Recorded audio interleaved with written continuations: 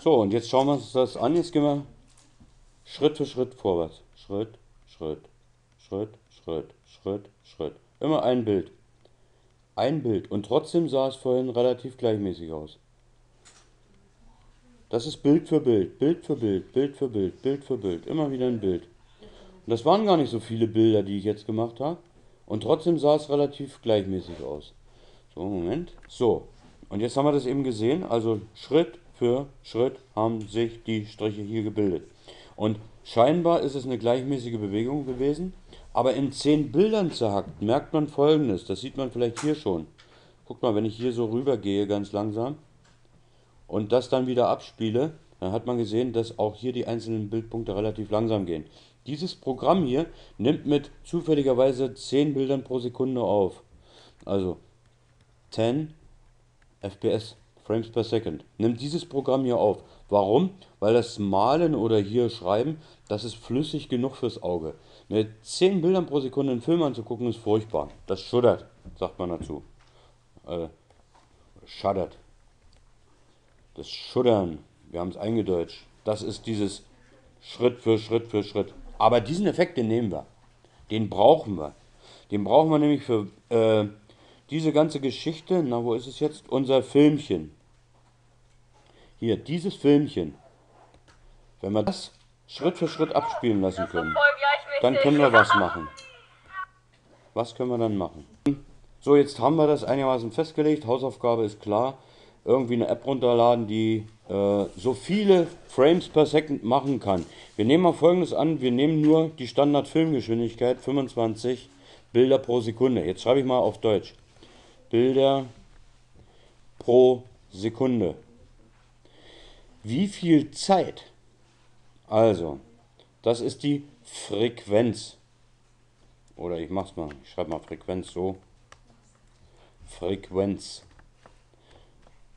die Bildfrequenz sagt man auch. Das heißt, die Anzahl der Bilder, die in einer bestimmten Zeiteinheit durchsausen. Wie viel Zeit hat jedes Bild? Rechnet mal.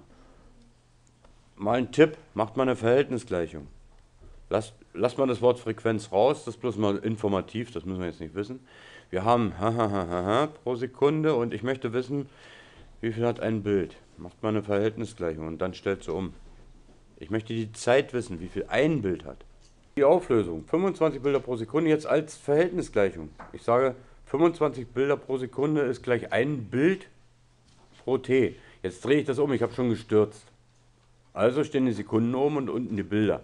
Jetzt steht T, die gesuchte Größe, oben und unten ein Bild. Mal ein Bild, gekürzt die Bilder, ein 25. Sekunde bleibt übrig. Das ist nicht doll, aber ich kann die ja mit 4 erweitern. Dann habe ich nämlich unten Hundertstel und oben eine 4 und demzufolge 0,04 Sekunden. Ist die Zeit für ein Bild. Das hat natürlich was. Wenn man so ein, mit, mit so einer Geschichte rangeht, dann hat man was. Jetzt stellen wir uns mal Folgendes vor. Äh, die Schaukel. Das ist die Schaukelbahn. Uns interessiert dieser Bereich hier. Hier bewegt sich das Ding von hier bis hier in dieser Zeit, also von einem Bild zum nächsten. Das sind die 0,04 Sekunden. Und auf dem Lineal, diesem rot-weißen Lineal, da sind ja hier noch so ein paar äh, Zentimetermarken drauf. Ne? So, und ich hätte meinetwegen hier gemessen 0,04 Sekunden. Das entspricht dann meinetwegen, äh, sagen wir, 6 Zentimeter. Ermittelt mal die Geschwindigkeit. Also V. Übrigens V ist S durch T.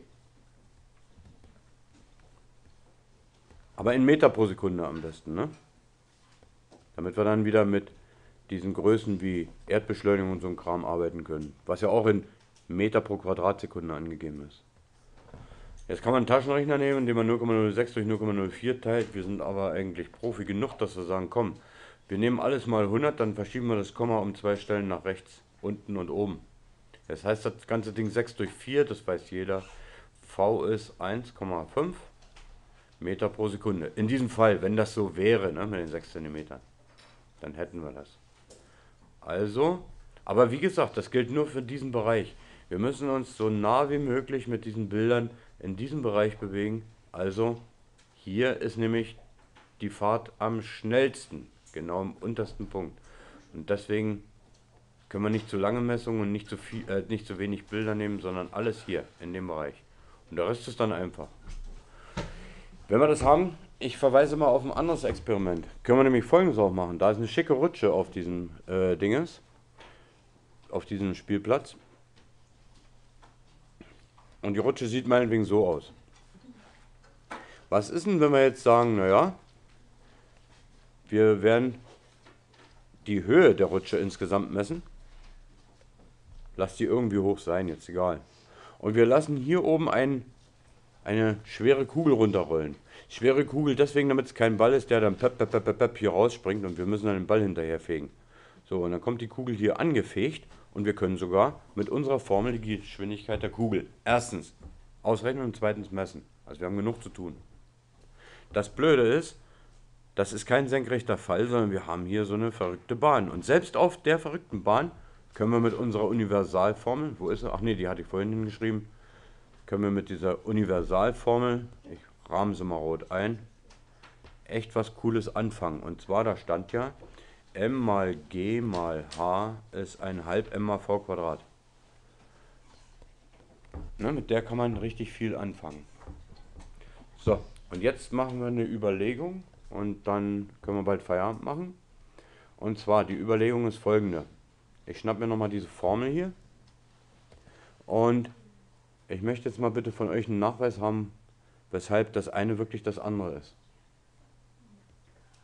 Jetzt wird gerätselt. Ich sag's mal kurz, ich habe noch den Tipp gegeben, wir können auch mal versuchen mit Einheiten zu arbeiten. Masse, Kilogramm. Erdbeschleunigung, Meter pro Quadratsekunde. Meter, 1,5 Kilogramm auf der rechten Seite, Masse wieder. Und jetzt Geschwindigkeit in S durch T, also das müssen wir so angeben, in, na komm, Meter pro Quadratsekunde. Also äh, Meter pro Sekunde meine ich. In Klammern zum Quadrat. Wie kann dann sowas entstehen? Jetzt bin ich mal gespannt. Ähm, wir haben das uns schon mal mit den Einheiten, haben wir uns schon mal klar gemacht. Wir haben beide Seiten durch Kilogramm geteilt. Pardon, ich hatte vorhin das eineinhalb hier. Das gehört nicht zu Einheiten. Hingeschrieben.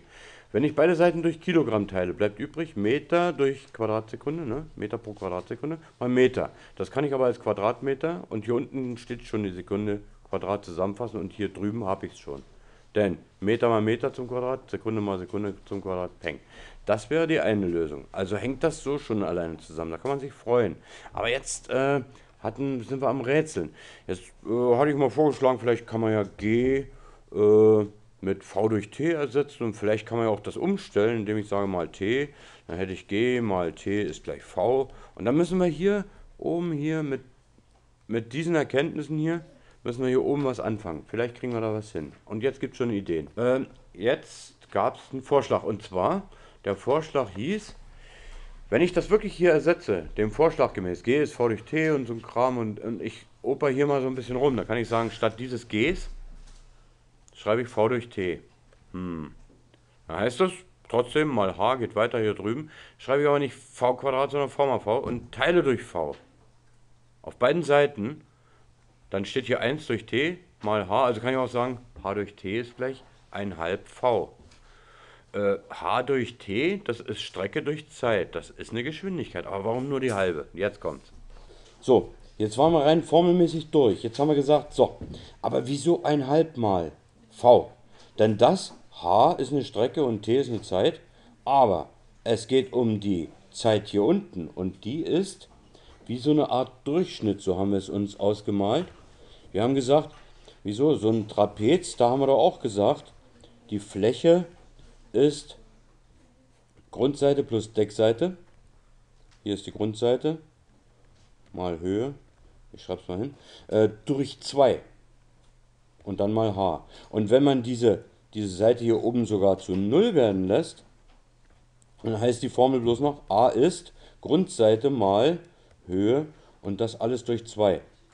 Also das heißt, wir haben hier eine Art Durchschnitt gebildet und machen uns nichts vor. Bei dem Pendel ist die Geschwindigkeit hier an dieser Stelle am höchsten und hier ist sie 0. 0 und hier ist es Vmax am schnellsten. So, die kann sich aber insgesamt sozusagen wie eine Art Durchschnitt nur errechnen und dadurch so kann man sich vorstellen, kommt dieses eine halb. Wir werden das später in der 11. dann nochmal machen, äh, da kann man das noch besser herleiten und kann auch wirklich dann ganz exakt mathematisch begründen, warum. Aber ihr habt ein mathematisches Gefühl und das hat mir dann eben an der ganzen Sache ganz besonders gefallen. Meine Lieben, ey, wenn ihr so weitermacht, mein Hochachtung. Schön, hat mir gefallen, hat Spaß gemacht. Ich sag jetzt mal schon schöne Pfingsten, schöne Pause und ich habe noch was von der achten vorhin gelernt. Zu Pfingsten sind die Geschenke am geringsten. Also, Punktrechnung vor Strichrechnung. Auf